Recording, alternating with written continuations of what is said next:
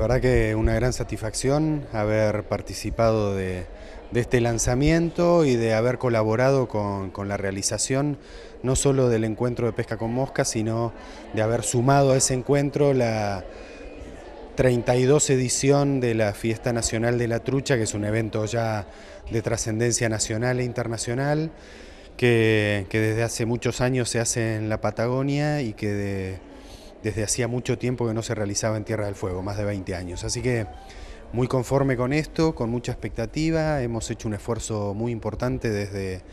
desde los recursos humanos hasta los recursos económicos que,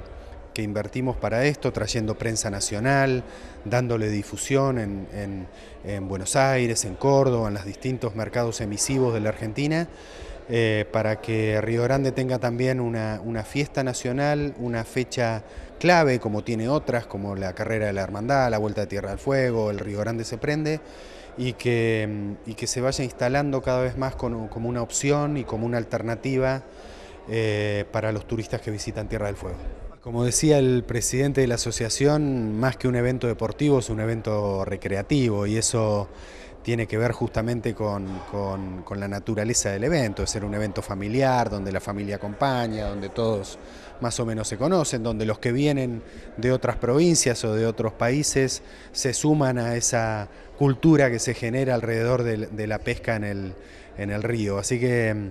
eh, creo que estas cosas ayudan a, fortalecer la identidad, ayudan a darle visibilidad a, a Río Grande y al norte de la isla y es el objetivo nuestro. Bueno, acá la pesca es especial, el uno acá viene a buscar el pescado de su vida, vamos a decirlo así. Pero yo creo que para aquel que pesca, eh, también la pesca pasa por descubrir estos lugares, conocer otras latitudes de Argentina, pescar en el fin del mundo, como dijo el presidente del Infotour. Entonces, bueno, va más allá del pescado, sino es venir y estar acá, pescar y bueno, y conocer que hay unos sitios que aún, que aún son inaccesibles por ahí para los pescadores. En lo personal, el objetivo mío, y esto lo digo sin, sin ser tan pedante ni nada por el estilo, el objetivo mío es que la gente que vino la, que la pase bien, que disfruten. Yo hoy tuve la suerte de ser parte de los atadores de este encuentro y de esta fiesta y uno lo que da es para que aquel amigo que vino de otro lado pase bien este encuentro. Ese es el objetivo mío. Después, bueno, creo que cada cual ha de tener su objetivo personal que es la pesca, pero el objetivo creo que es ese, pasarla bien.